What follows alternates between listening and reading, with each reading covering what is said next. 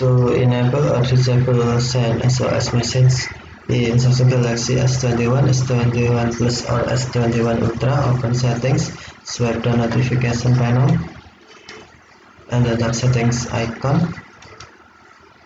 Scroll down settings screen, find advanced features,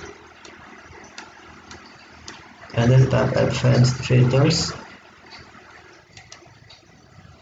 Scroll down advanced features screen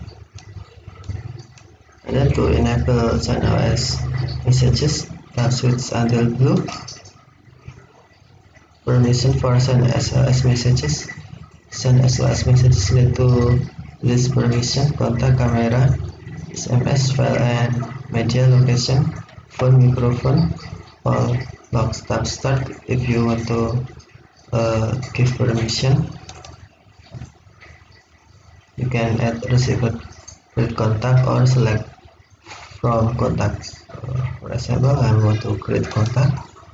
And then name is simple with and enter the phone number.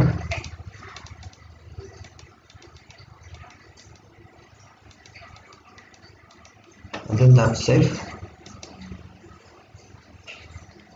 send messages to uh, your contact and then you can uh, turn on or turn off some SOS message by tapping side key three times or four times. Okay thank you for watching. Have a nice day